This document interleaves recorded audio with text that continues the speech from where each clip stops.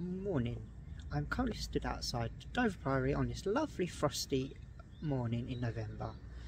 Dover Priory itself is the southern terminus of the southeastern main line here in England and is the main station serving the town of Dover, Kent.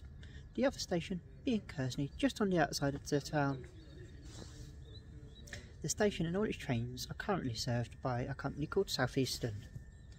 Now, time for a little bit of history since well, I wouldn't get history this video wouldn't get very far if that was all.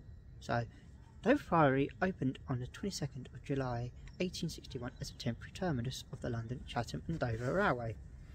It became a through station on November, the 1st of November the same year with the completion of the Dover Harbour Tunnel under the Western Heights to gain access to the Western Docks area. Originally the station was known as Dover Town but was renamed in July 1863 as the Revival Southeastern Railway had called its station Dover Town First.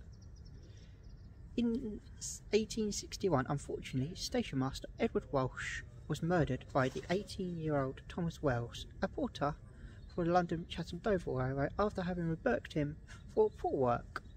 Wells was convicted then for his crime. In 1932, and the 8th of May, the current station that we have today was opened. The tunnel you see behind me is the tunnel that links Dover Priory to the former Dover Harbour station. So it can, the trains can run through Folkestone Warren to Folkestone and beyond.